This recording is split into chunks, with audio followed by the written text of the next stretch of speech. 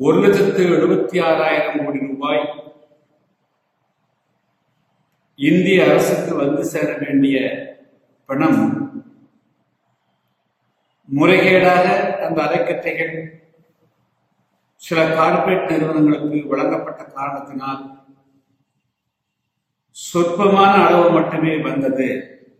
எனவே இதில் மிகப்பெரிய ஊழல்கள் நடைபெற்றிருக்கின்றன என்று இந்தியாவினுடைய ஆடிட்டர் ஜெனரல் கொடுத்த அறிக்கையினுடைய அடிப்படையில் இது மிகப்பெரிய அளவுக்கு அப்பொழுது நாடாளுமன்றத்தில் இந்த பிரச்சனை எழுப்பப்பட்டு அதைத் தொடர்ந்து அன்று இந்த துறைக்கு அமைச்சராக இருந்த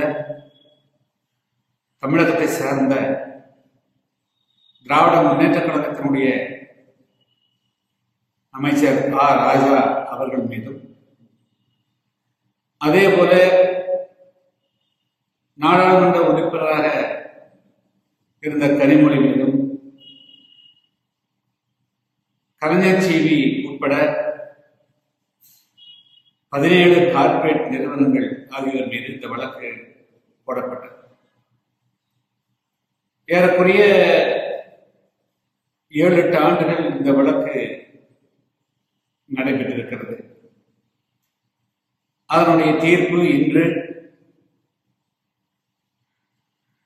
சிபிஐனுடைய சிறப்பு நீதிமன்றத்தினுடைய நீதிபதி ஓ. சைனி அவர்களால் கொடுக்கப்பட்டது. அதில் ஆ. ராசா கன்னிமொழி உட்பட அனைவருமே விடுதலை செய்யப்பட்டு விட்டார்கள் என்ற ஒரு தீர்ப்பு வெளியாக இருக்கிறது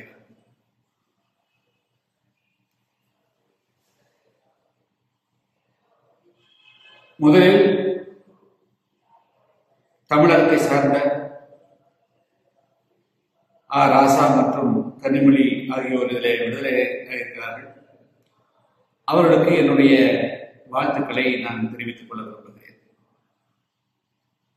அதே சமயத்தில்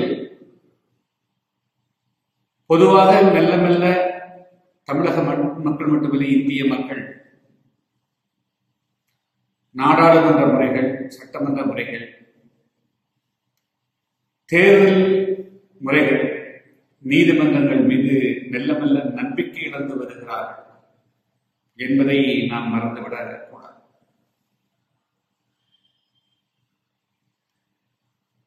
அதாவது கடந்த ஆறு மாதங்களுக்கு முன்பு ஆர்கே நகர் சட்டமன்ற தேர்தல் முதல் இடைத்தேர்தல் அறிவிக்கப்பட்ட பொழுது மிதமிஞ்சிய பணம் வழங்கப்படுகிறது என்ற அடிப்படையிலே அந்த தேர்தல் நிறுத்தப்பட்டது.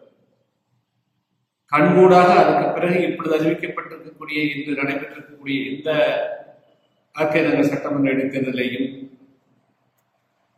தேர்தல் ஆணையத்தை மீறி தேர்தல் ஆணையத்தின் முன்பாகவே ஒவ்வொரு வாக்காளருக்கும் பல்லாயிரக்கணக்கான ரூபாய் கொடுக்கக்கூடிய ஒரு மிக பெரிய மோசமான போக்குகள் இதை தடுத்து நிறுத்த முடியாமல் தேர்தல் ஆணையம் வெளிவிலகி இருக்கக்கூடிய நிலைகள். தேர்தல் ஆணையம் முற்றாக தோற்று மண்ணைக்கப்படக்கூடிய நிலைகள். இதன் மூலமாக இனிமேல் தேர்தல் என்றாலே இப்படித்தான் இருக்கும். என்று ஒட்டுமொத்தமாக மக்கள் ஜனநாயகத்தின் மீது நம்பிக்கை இருக்கக்கூடிய போக்குகள் நீதிமன்றங்களையும் தீர்ப்புகள் நீதிகளை எதிர்பார்க்க முடியாது என்ற நிலைகள் நாடாளுமன்றங்களில் மக்கள் பிரச்சனைகள் பேசப்படாது என்ற நிலைகள் அரசு அமைப்புகள் எதுவுமே இனிமேல் மக்களுக்கு நம்பிக்கை ஊட்டக்கூடியதாக இருக்காது என்பதற்கு பல்வேறு உதாரணங்கள் இப்பொழுது நடந்து வருகின்றன. ஆ ராசா கனிமொழி அவர்களுடைய தீர்ப்பை பொறுத்தமட்டிலும் இப்பொழுது நாம் சைனியருடைய தீர்ப்பை நாம் தீர்ப்பாக பார்க்க வேண்டும். அதே சமயத்தில் இது முற்றிலும் முடிந்து போன தீர்ப்பாக பார்க்கலாம். இன்னும் தீர்ப்பினுடைய முழு அம்சங்களும் வெளியே வரவில்லை. இருந்தாலும் கூட அவர் ஒரு வரியிலே தீர்ப்பு கொடுத்ததற்கு எதற்காக தேவையில்லாமல் ஆர் ஆசாவையோ அல்லது கனிமொழியோ பல உள்ளே வைத்தார்கள் என்று தெரியவில்லை. மேலும் மத்திய அரசுடைய தொலைத்தொடர்பு அரைக்கற்றை ஏலத்திலே கொள்கை அளவிலே குறைபாடு இருக்கிறது என்று சொன்னால் இந்த வழக்கை ஏழு ஆண்டு காலம் நடத்திருக்க வேண்டிய அவசியமே கிடையாது. சார்ஜிட் அளவிலேயே அதை வந்து கிராஷ் பண்ணிட்டு போயிருக்கலாம். ஏழு ஆண்டு காலம் இழுத்தெடுத்து இந்த வழக்கை வந்து தீர்ப்பு சொல்லிக்க வேண்டிய அவசியம் கிடையாது. எனவே ஒட்டுமொத்தத்தில் மக்களுக்கு இந்த நீதித்துறைகளின் மீது வந்து மெல்ல மெல்ல நம்பிக்கை இழந்து வருகிறது என்பதை இதெல்லாம் காட்டுகிறது. இதுல இந்த நீதிமன்றத்தில் சிபிஐயாலோ அல்லது வந்து அமலாக்கத்துறையாலோ அவர்களுக்கு வந்து சைனி அவர்களை திருப்திப்படுத்தக்கூடிய அளவுக்கு வந்து சிபிஐ அல்லது இடி என்று அழைக்கப்படக்கூடிய அமலாக்கத்துறை போதிய ஆதாரங்களை கொடுக்க முடியவில்லை. அது கொடுத்தும் ஏற்றுக்கொள்ளவில்லை என்று தெரியவில்லை. ஆனால் நம்ம ஜெயலலிதா அவருடைய வழக்கை பொறுத்தமட்டில் நாம் பார்த்தோம். நீதிபதியர் குன்கா அவர்கள் ஒரு தீர்ப்பை வழங்கினார். ஹைகோர்ட்டு முத்துக்குமாரசாமி ஒரு தீர்ப்பை வழங்கினார். அது உச்சநீதிமன்றம் ஒரு தீர்ப்பை வழங்கியது. எனவே இந்த இது போன்ற தீர்ப்புகள் மாறி மாறி வருவதுதான் இந்திய நம்முடைய நீதித்துறையில் இருக்கக்கூடிய வழிமுறைகளாக இருக்கின்றன. எனவே ஒட்டுமொத்தமாக மக்கள் ஜனநாயகத்தின் மீது நம்பிக்கை இழக்கக்கூடிய போக்குகள். நீதிமன்றங்களையும் தீர்ப்புகள் நீதிகளை எதிர்பார்க்க முடியாது என்ற நிலைகள். நாடாளுமன்றங்களில் மக்கள் பிரச்சனைகள் பேசப்படாது என்ற நிலைகள். அரசு அமைப்புகள் எதுவுமே இனிமேல் மக்களுக்கு நம்பிக்கை ஊட்டக்கூடியதாக இருக்காது என்பதற்கு பல்வேறு உதாரணங்கள் இப்பொழுது நடந்து வருகின்றன. ஆர். ராசா கனிமொழி அவர்களுடைய தீர்ப்பை பொறுத்தமட்டிலும் இப்பொழுது நாம் சைனி அவருடைய தீர்ப்பை நாம் தீர்ப்பாக பார்க்க வேண்டும். அதே சமயத்தில் இது முற்றிலும் முடிந்து போன தீர்ப்பாக பார்க்க இன்னும் தீர்ப்பினுடைய முழு அம்சங்களும் வெளியே வரவில்லை. இருந்தாலும் கூட அவர் ஒரு வரியிலே தீர்ப்பு கொடுத்ததற்கு எதற்காக தேவையில்லாமல் ஆர் ஆசாமியோ அல்லது கனிமொழியோ பல மாதங்கள் உள்ளே வைத்தார்கள் என்று தெரியவில்லை. மேலும் மத்திய அரசுடைய தொலைத்தொடர்பு அரைக்கற்றை ஏலத்திலே கொள்கை அளவிலே குறைபாடு இருக்கிறது என்று சொன்னால் இந்த வழக்கை ஏழு ஆண்டு காலம் நடத்திருக்க வேண்டிய அவசியமே கிடையாது.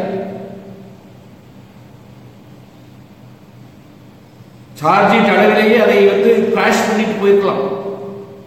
ஏழு ஆண்டு காலம் இழுத்தெடுத்து இந்த வழக்கை வந்து தீர்ப்பு சொல்லிக்க வேண்டிய அவசியம் கிடையாது. எனவே ஒட்டுமொத்தத்தில் மக்களுக்கு இந்த நீதித்துறைகளின் மீது வந்து மெல்ல மெல்ல நம்பிக்கை இழந்து வருகிறது என்பதை இதெல்லாம் காட்டுகிறது. இதில் இந்த நீதிமன்றத்தில் சிபிஐயாலோ அல்லது வந்து அமலாக்கத்துறையாலோ அவர்களுக்கு வந்து சைனி அவர்களை